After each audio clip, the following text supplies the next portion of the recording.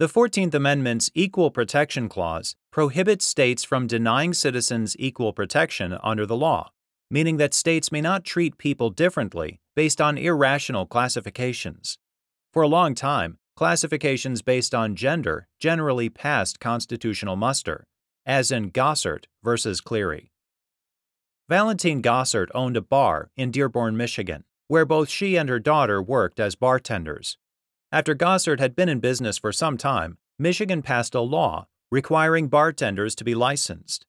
The law prohibited a woman from being licensed unless she was the wife or daughter of a licensed male bar owner. Goesaert brought a class action suit against the members of the Michigan Liquor Control Commission, including Owen Cleary, in federal district court. Goesaert argued that the law violated the Equal Protection Clause because it irrationally distinguished between women in general and women related to male bar owners. Goesaert sought an injunction against the law's enforcement.